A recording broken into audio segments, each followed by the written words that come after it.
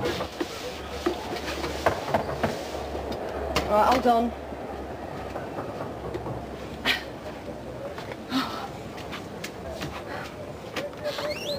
Hello, Shell. Hello, Litland. Where's Vicky? Yeah, she's asleep. Don't wake her up. Are you all right, Shell? Yeah, I'm fine. Just, just you seem a little bit done in, sort of. Yeah, well, I am. It's all right for Vicky. She can sleep when she wants to. All this fuss about the wedding, I'm tired of it. Dad going on about money all the time. Wish I'd never... I'm sorry, I'm just tired.